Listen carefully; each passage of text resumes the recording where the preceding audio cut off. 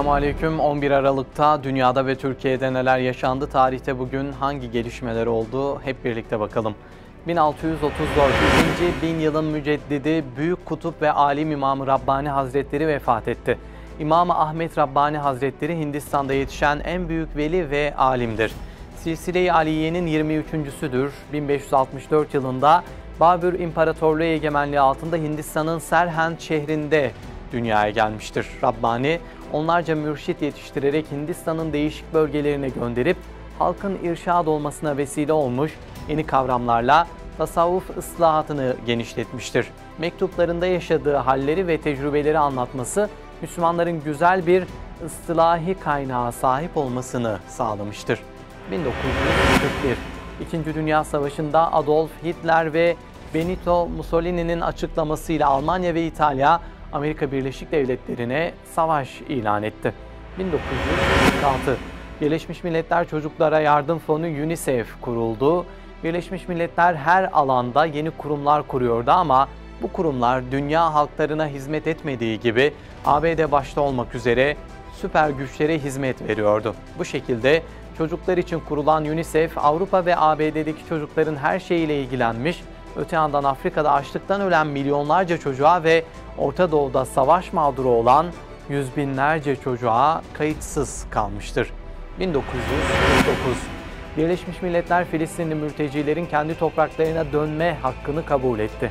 BM aldığı kararları uygulamayan İslam ülkelerine silahlı ve ekonomik yaptırımlar uygularken işgalciler bu karara uymadığı hatta her gün Filistinlileri yerlerinden etmeye devam ettiği halde hiçbir yaptırım uygulamıyordu. Siyonistler de BM'nin şu ana kadar aldığı hiçbir yaptırım kararını uygulamamış, buna rağmen ABD'nin desteğini alarak ceza almaktan kurtulmuştur.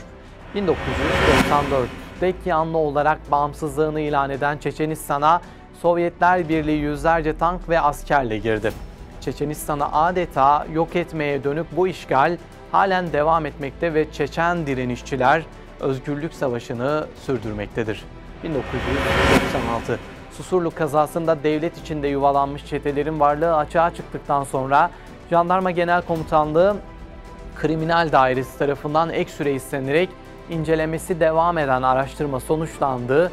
Raporda kazada ölen Abdullah Çatlı'nın üzerinden çıkan Mehmet Özbay adına düzenlenmiş silah taşınmasına olanak tanıyan Emniyet Genel Müdürlüğü uzman kimliğinin sahte, Mehmet Ağar'ın imzasının ise gerçek olduğu belirlendi.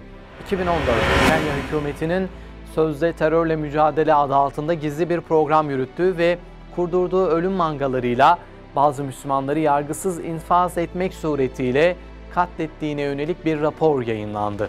Rapora göre bu mangaları Siyonist işgalciler ve İngiltere'den gelen askerler ve istihbaratçılar eğitmişti. 2014 işgal topraklarında yayınlanan Marif gazetesi işgal rejiminin Gazze'ye açtığı son savaşla ilgili yayınladığı raporda 1620 işgalci askerin yaralandığını ve bunlardan üçte birinin engelli olduğunu yazdı. 2014 İstanbul Zeytinburnu'nda İslami kimliğiyle tanınan Özbek asıllı müderris Abdullah Buhari Hoca uğradığı silahlı saldırı sonucu katledildi. 2014 Mısır İnsan Hak ve Hürriyetleri Gözlemevi'nin resmi Kabristan başlığıyla hazırladığı raporda ülkede bir yılda hapishane ve gözaltı merkezlerinde 212 kişinin hayatını kaybettiği belirtildi.